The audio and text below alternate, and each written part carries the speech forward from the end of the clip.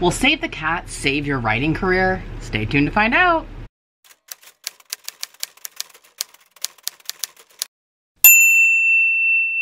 Hey guys, welcome back to my channel. And if you're new here, hi, I'm Laura and I write young adult fiction. And I post videos every Tuesday, Thursday, and Sunday about writing and writing related stuff. And so today's video is the first of, I hope, many review videos where I review writing craft books. I love to learn. It's the former academic in me. I love to learn new things. I love to read books about topics that I'm interested in. So of course I'm interested in writing, so I wanna read all the books about writing I can. So the first one I thought made the most sense to review was Save the Cat Writes a Novel. So what my plan is, is I'm going to read these books and then I'm gonna tell you what I think. I'll basically give you a rundown of the books. I'll tell you what you can expect from them, pros and cons, and then I'm gonna I'm gonna label each book either a must buy or optional buy. So let's get started on talking about Save the Cat Writes a Novel. Okay, so First of all, I want to say that if you are very familiar with the screenwriting version of Save the Cat Writes a Novel, a lot of this information probably won't be new. Even if you haven't read that, I wouldn't say this is chock full of new information. However, I think there is enough in here to warrant buying it anyway um, because there is a lot of explanation and there is some additional stuff that I'll get to in just a little bit. But I wanted to kind of make that clear because that seems to be a criticism or a concern of getting this book because they're like, I'm already familiar with that.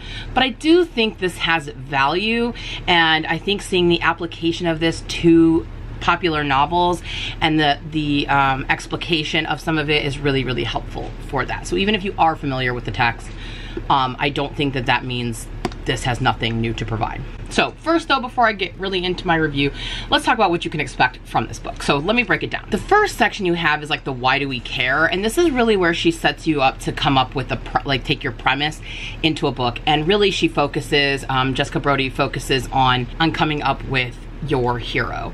And she really talks about some distinct things that you need. She basically breaks it down to you need to have a problem, you need to have a want, and you need to have a need. So I think she really explains that in a really clear way um, of what you need to do with your hero and able to make it a book that people are going to want to read. Then she goes into the beat sheet, which is the main reason why most people buy this book, is for the breakdown of the beat sheet. I um, I'm gonna save all my opinions on this stuff till the end, but basically she breaks down all the different beats. Now when she goes over the beat sheets, she does this quick summary of all them, then she goes really in depth with each of the beats. One of the things that I think is really valuable in this is she talks about not only each beat, she gives why it should be included and how it should be included. And she tells you which of these should be single scene or multi-scene. Then after that, she breaks down what she says that all stories ever told, all of them, can be broken down into 10 different types. And she really goes into depth on each of the types, what each type should include. She gives you examples. Some of them you wouldn't even expect would be that kind of type and how they sort of function and how that unique genre type should have these additional things included in their beats. So then that is a major, major section of this book um, because she goes really in depth in all 10 types and gives prime examples and breaks them down. Then after that, she does have a section on pitching. And in the pitching section, she talks about log lines and summaries and how you should write them. Um, so she gives you a formula for a log line, which is a one sentence synopsis of your story, and then how to do a one page summary. And then the last section is a Q&A where these are common questions that she got when she was teaching this uh, Save the Cat in some courses that she taught. So that covers like where to start, how to organize the beats, what to do if you have more than one character, what to do if you have an unlikable hero, and then also if you get stuck. And then the very last section, she shows how beat sheets can change. That even though you may have this all plotted out, when you're writing things still change. So she shows a beat sheet before she wrote a book, and it's one of her books, and then an after of what it looked like when she re-plotted it um, based on what she wrote for her first draft. So that is what all of this book covers. Now, let's talk really generally about the pros and cons before my overall thoughts on it. So pros has a lot of, it has exercises at the end of every section to help you apply this to your own book. There are checklists for you to use also for your own books. And she provides templates. So she gives a template on how to write a log line and how to write a um, one page synopsis. Another thing that I think is a pro is she talks a lot about how to give you uh, narrative arcs, right? That's what the beats really are. It's how to keep your reader engaged by pulling at their emotions, pulling back, pushing, pulling, where to be up, where to be down, how to keep that going so that your reader stays engaged and interested and it helps with your pacing. And she gives a plethora of examples of really, really popular texts and how they definitely follow this and how basically every story follows this. And if you can follow this, then you will have your structure down. And she doesn't just say like, here are the beats. She gives the why these are beats and how they should be done. So that I think are the big pros of this book. Now some cons, if you've already studied Save the Cat, like I said, a lot of this may not be new information, although I do believe her explanations and explications of other stories is worth it. So if for nothing else, at least looking at her examples and how people apply the theory um, in context. Another concern I saw some people saying was that that makes you makes you feel like you're writing formulaically. But you know what? I love a good formula. If you can show me how to plug things in, it's still your ideas. It's still interesting. This is just how most stories are written. I'll tell you a little story. When I was in creative writing class in college, they didn't let us write genre fiction, so like science fiction, fantasy, stuff like that. My teacher said it was because those were formulaic and they all just followed the same form. But I'm going to tell you, after reading this book, all books follow a form, okay? They all do. She she has convinced me. She has shown enough examples of very, very, very popular texts, texts that you may think are not formulaic at all. She shows how they actually follow these formulas. So I have news for you. You know who you are, creative writing teacher. Everything's a formula. How dare you try to discourage us from writing genre fiction? But she really convinces us that this is a tried and true formula that even people like Stephen King, Leigh Bardugo, um, Kiera Cass. I mean, anyone that you can think in any genre, in any category, they're using these formulas. So really, I think one of the biggest uh, cons of this is it does spoil a lot of popular texts because she really breaks it down. So here's what I'll say about that. Number one, I don't know. I don't really mind spoilers, so mm, I don't feel as bad about that. I kind of just want to say get over it. Um, that's not me being very sensitive about the topic though.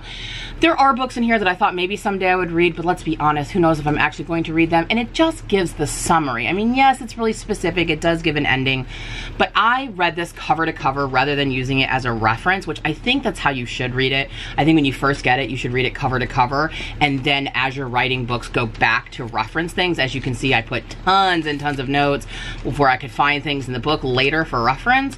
Um, but yeah, if you hate spoilers, that might be a little hard to see some of her explications um, because she does break it down. But I feel like personally, it was worth it to spoil a couple of those books for me to understand. But you could really just skip those if you wanted. You can still read her general. She just used those as examples and you can just skip the examples. But my personal opinion is just read the spoilery things. I mean, come on. If not, if it's gonna spoil a book, then hurry up and read that book. Okay, what are you waiting for? They're, not like super new books, you know? Okay, so if you couldn't already tell from the way I was kind of skewing this review, I highly, highly, highly recommend this book. This I would consider a must buy for anyone writing a novel any kind of novel. I feel like her explanations make perfect sense and I just finished a first draft I'm getting ready to revise and then I read this and here's what I'll say. I hit a lot of these beats already. I would say I hit the majority of them. But now I know some tweaks I need to make so that it's better, better structure, better plot. And there's some that I completely missed or I have backwards. And the way she explains them, and now that I think about how I'm gonna fix my story to fit this, I can tell it's gonna be better. It's like one of those things when you're in college and you write a really great essay and you think it's super awesome and then your teacher gives it back and she makes all these suggestions and at first you're like, girl, you don't know what you're talking about. What I wrote is brilliant. That's just your opinion about how it should be done. But then you make the changes anyway and you're like, oh shoot, girl was right. She was right. It's better. It's better. That's what I feel. I feel like, yeah, could I write a book without this? Absolutely. Is my book going to be better for reading this and following this? Absolutely. I cannot recommend this enough. I, I, just, I can't really see a downside. I really, really don't. I think it is super helpful. I think her showing examples is very convincing. I think that the language is very accessible and, and it's sort of fun here's what I will say. You don't want to follow her formula? Okay. You don't want to buy into her genres? Okay. If for nothing else, the formula she provides for a log line and a synopsis is worth the price of the book, okay? And you can go a little rogue if you want to. She even talks about that, that some books maybe move things around or whatever. I mean, of course, at the end of the day, it's your book, so you make decisions about things, but I don't think there's anything wrong with having an outline, an explanation that helps you so that you're making the best book possible. So definitely, definitely 100% not just recommend, I say it's a required text for anyone who's writing. Now, I did look at some cons of some people. It has very few bad reviews.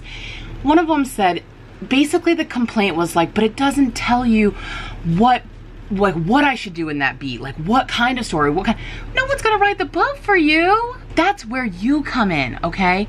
You fill in the details. She's giving you structure. This book is about plot, structure, narrative arcs.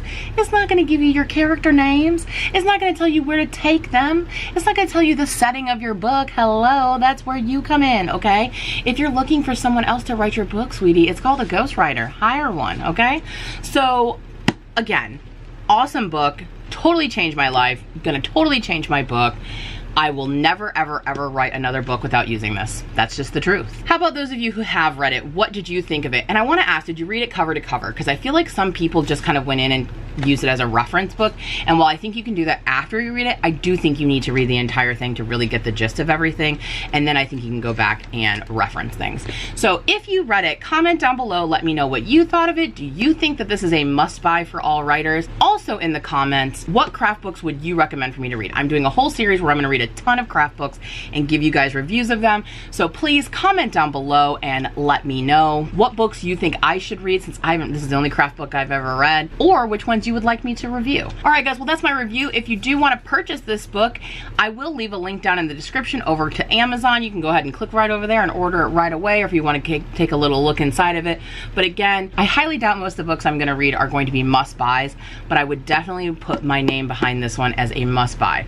100% worth its price. All right, guys, well, I hope that review was helpful for you. And if it was, please be sure to give this video a thumbs up. And if you have not yet, please make sure you hit the subscribe button so you don't miss any of my other further reviews or the other writing content that I do put up on my channel. And as I said, I post videos every Tuesday, Thursday, and Sunday, and I will see you in the next one. Thanks for watching, guys. Bye!